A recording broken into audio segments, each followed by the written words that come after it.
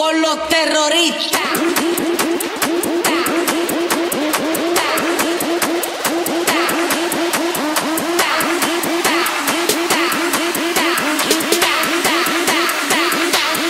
do the Harlem Shake.